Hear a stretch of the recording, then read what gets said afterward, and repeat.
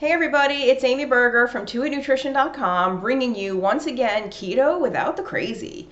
Um, you are probably getting really sick of this outfit. Um, I think I mentioned in, in the previous videos that I'm recording many videos on one day um, just so I can start building a bigger stockpile. And I'm frankly just too lazy to change my shirt. Um, even though all I would have to do is change my shirt, I don't even have to change my pants because you can't see me from the waist down. But anyway, that is neither here nor there. Hopefully you're not super sick of the outfit. And there's a chance that I will intersperse these videos with other ones. So um, you're either going to see this outfit like four times in a row, or you'll just see it a lot more frequently than anyone should ever wear one outfit. Um, today's topic, moving along, today's topic is salt. And specifically, what kind of salt is best for keto? The issue of how much salt you need on keto is a separate issue and it's a bigger issue and it's kind of a bigger issue that I'm prepared to tackle right now. Um, I'm going to link to a post by Stephen Phinney um, from Virta Health. And I mean, Dr. Phinney has been researching ketogenic diets almost longer than I've been on the planet. Um, I think that he had papers come out at least as early as 1983 and I was born in 78. So, um, you know, when I was just a little wee one, he was already publishing on ketogenic diets. So um, he, he has some uh, interesting information on salt. I will link to that. And you know, beyond that, it's it's really individual how much salt you need. So I'm really going to kind of leave that for another time, and we're going to talk about the kind of salt that is best. Um, what kind of salt is best for keto? Salt, sodium chloride. Um, and, and I should clarify, when I say salt, I mean sodium chloride. And that's kind of chemically irresponsible of me because in chemistry, in the science chemistry, the word salt is not what we think of as table salt. You could have an ammonium salt, a, a whatever, a potassium salt, a all kinds of salts, all kinds of it's just a sort of molecular structure kind of a thing, molecular bonding kind of a thing. So when a chemist says the word salt, they don't mean table salt sodium chloride. I do. So I am going to use them interchangeably even though they're really not. But so what kind of salt do you need? You need sodium chloride. And you can get sodium chloride in any salt you like. Regular cheap table salt, the Morton's iodized salt, fancy schmancy Himalayan pink salt, red salt, black salt, gray salt, smoked salt, whatever kind of salt you like has sodium chloride. And what you really need is the sodium chloride. Probably the sodium more so than the chloride, but you do need the chloride as well. Um, and my advice as to what type of salt to use is use whichever one you like. Now, um, I, I'm going to show you some of the ones that I have here I, I'm kind of a little disappointed. I don't have my favorite one on hand. Um, I, I ran out of it and I haven't replaced it in a long time because I had, you'll see, I have this huge collection of other salt that I've gotten from elsewhere for free from conferences and stuff as little gifts. So um, I just don't really need to to replace the salt yet. But let's let's talk about why um, why you don't really need the fancy stuff, right? Um, or, or let's talk about some of the concerns first. I think the main concern about salt quality on keto, and, and let's, you know, I'm, I'm going to have one of my cough drops. This is still post Denver flu, still March 15th recording day. Um,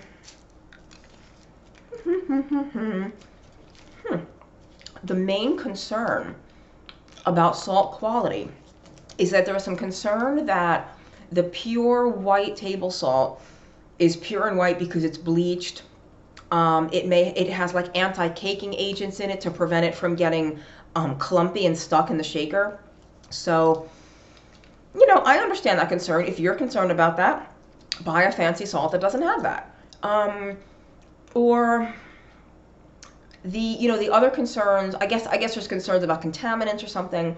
Um, I think the other reason why people may opt for certain other sort of unrefined salts is that those unrefined salts will still contain trace amounts of other minerals. So whereas a Morton salt is just sodium chloride or like a regular table salt at a restaurant is just sodium chloride, when you use one of these sort of higher end salts, you may be getting very, very trace amounts of magnesium, maybe calcium, iron, copper. But here's the thing, and this is why I think you really don't have to go out of your way to buy the fancy schmancy salts with that stuff in it. We're talking minuscule, minuscule, minute amounts of those trace elements if you are relying on salt, on your fancy salt, to be the primary source of those minerals in your diet, and I'm not talking about the sodium and chloride, I'm talking about the magnesium and calcium and um, you know potassium and, and copper and iron. If you are relying on your salt to be the primary source of that in your diet, please hire a nutritionist. Please hire somebody who can help you out of that because again i made a joke about this in a previous video you're doing it wrong um, now there's nothing wrong there nothing wrong there's nothing wrong with using those salts if you want to but use them because you like them don't use them because like oh well this one has more copper this has more magnesium we're talking about the most tiny tiny amounts um, of those things so my favorite salt, the one that I don't have on hand to show you, is called Redmond's. Redmond's Real Salt, R E D M O N D S. And that one, you actually can see the flecks. It's it's white, but it's also got pink crystals in it and red, and it's the it's it's iron, it's whatever else is in it. You can actually see that it's like a mixture of it's more than just sodium chloride. Um, I'm going to explain why I like it after I walk you through some of this other stuff. This is another one of my favorites. It's the um, Celtic Sea Salt from Selina Naturally. I think that's the name of the brand. Um, this is the fine ground. They make um, a coarse one that's just coarser, that's better kind of for cooking and stuff like that. It's pretty gray. It might be kind of hard to see on the video. It's a little grayish, but I have the same, from the same brand, that Selina Naturally.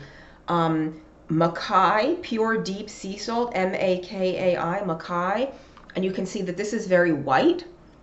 And again, from the same brand, Selina Naturally Celtic, Celtic Sea Salt. This is their light gray. This is the coarse one, but so you can see how gray it is, right? If you compare the gray to the white, you can see they're noticeably different.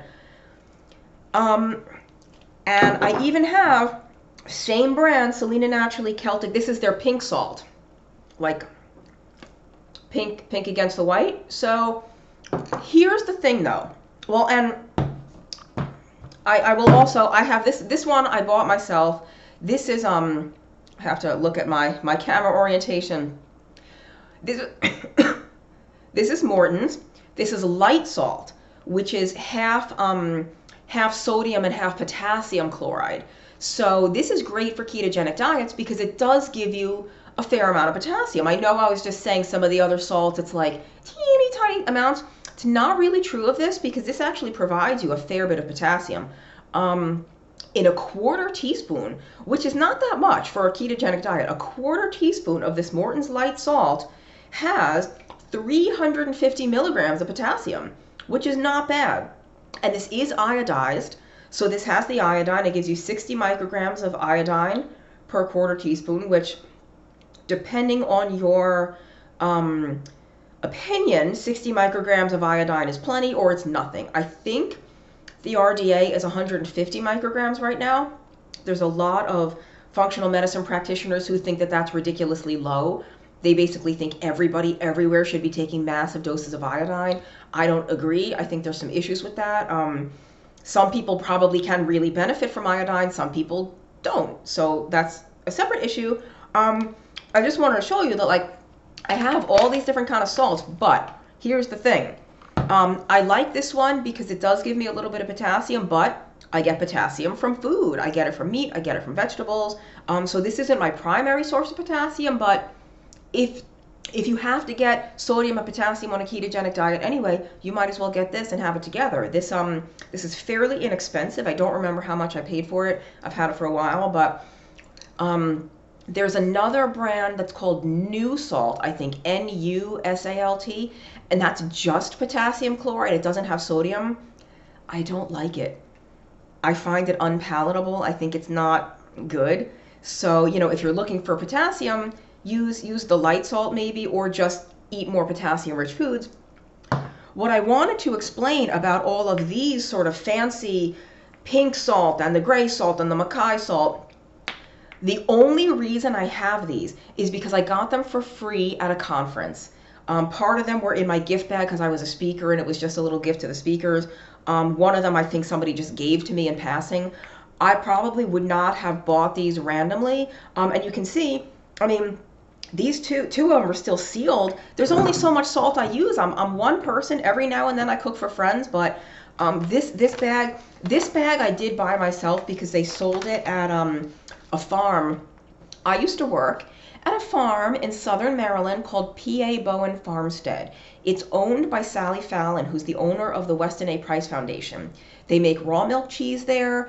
Um, they sell all kinds of super high quality food. They do pastured pork, grass fed beef, um, soy free and corn free eggs, which are extremely hard to find. Anyway, top quality food. We happen to sell this at the farm, so you know I would pick up a bag of it every now and then, um, and it still still has that much left in it. Like a bag this size, this is a pound, this will last me a long time. So even even if you buy an expensive salt, I think I think that at the farm we sold this for ten dollars. Ten dollars for a pound of salt, maybe that sounds like a lot. This lasts forever. I, I can't tell you how many months I've had this. So it's kind of a small price to pay for a salt that, you know, is is nicer. But the reason I use this salt and the reason I like the Redmond real salt, it's called Redmond's real salt. The reason I use these is not because they're fancy schmancy and it's gray Celtic salt and like, or, or because it has more copper. Literally, the reason I use them is because I think they taste better. I like the taste better. And maybe some people don't notice a difference with different kind of salt, but I'm kind of a foodie. I love cooking. I love reading cookbooks. I love food shopping, even um, as long as there's no like screaming children in the supermarket. But um, I just like I like the way they taste. They have more kind of a milder flavor. There's not as biting of like whoa that's salt. It's sort of enhances flavors rather than just making things salty. Um, it, it's going to sound weird, but you you cooks will know what I'm saying when I say this. Salt helps things taste more like themselves. It brings out natural flavors that are there. It enhances the flavor rather than just saltifying, rather than just making things salty. Um, so really, truly, when you're on a ketogenic diet, eat whatever salt you like. And I know some people who would even get like a little travel size like this and keep it in their purse so they have it with them at all times at restaurants or you could even get like a little just vial or something like use an old an empty um, medication bottle with like a you know a leak proof top a, a child proof cap. Keep that in your purse with your favorite salt and it's super easy to travel with.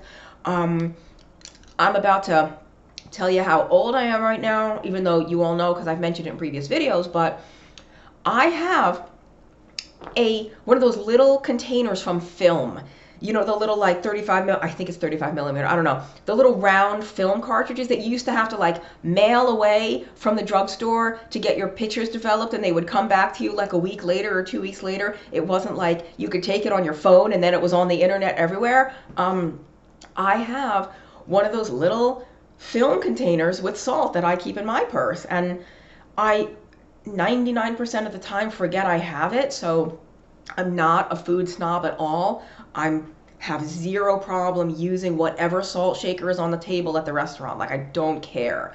Um, if you do care, you know, get yourself a little container and, and bring your your fancy special salt. But really, on the ketogenic diet, the answer to what kind of salt you need is sodium chloride salt. Period. Um, use whichever one you like. Use whichever one you can afford, because it really doesn't matter. Um, let's see some people might disagree with me. I, and again, I'm not saying that it's irrelevant to have slight trace amounts of more minerals and salt. I mean, if you're gonna have salt anyway, you might as well get some extra trace minerals with it. But if it's not in your budget, if literally an extra four or five dollars for salt is gonna make or break you, then don't do it. Just get your regular salt. No big deal. Um, I'm gonna end this soon. I thought I had more to say, but um, I do want to recommend the book The Salt Fix by James DiNicolantonio.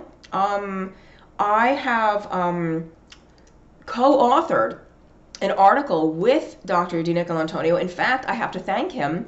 He um, was a co-author on my very first published peer-reviewed journal article. So I have him to thank for my very first, you know, appearance in the scientific literature. Um, and it, it was not an article about salt. It was about sugar, actually, about added sugars. But anyway, I, I I'm going to be completely honest with you. I have a lot of respect for James, but I don't agree with him about everything. He's um, written some stuff in some books subsequently after this book that I don't fully agree with, but that doesn't mean that I can't respect the work that I respect. And this book is absolutely phenomenal. If um, somebody called, I think it was my friend Eric Sodicoff, who's a doctor that I know from Twitter, and I've met him in person at this point. Um, I think it was him. It may have been somebody else. somebody said the the salt fix was like the big fat surprise of salt, right? if you've read Nina Teicholz's book, The Big Fat Surprise, that sort of blew the lid off all the myth, the, the mythology and all the bullshit on saturated fat being bad for you. And it was all about butter and meat and cheese and how that's all really good for us. So James does sort of the same investigative work on salt here. Um, if even if you've been on a ketogenic diet for a while and you still, for whatever reason, have lingering doubts about salt and you feel like, oh, there's no way all the salt can be good for me, um, you know, it's going to raise my blood pressure, this and that. I really encourage you to read the book because it's um it's just really really educational. Um, I think I think humans can consume a lot more salt than most of us do. Um, I mentioned in my video on ApoE4 that most people are not sodium sensitive hypertensives, meaning most of us can eat a ton of salt and our blood pressure does nothing. It doesn't move. Um, there are some people, though, who do need to be careful. If you're taking certain medications, you need to be careful about sodium. Uh, of course, most blood pressure medications are being taken to treat hyperinsulinemia, which is the main driver of hypertension. So it's not the salt, it's the sugar.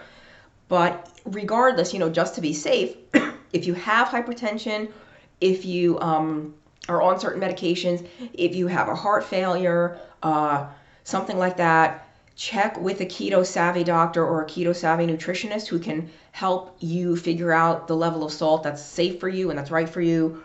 Um, and don't forget, you know, salt doesn't only come from like added salt on keto, we love and celebrate foods that are made with salt or that are naturally salty. Things like um, bacon, sausage, salami, prosciutto, olives, um, feta cheese. Most cheese is very salty. Uh, beef jerky. So delicious stuff. Plenty of room for salt on keto. Absolutely no need to be afraid of salt. Um, yeah, I guess that's it for now. Um, Stay salty. See you next time.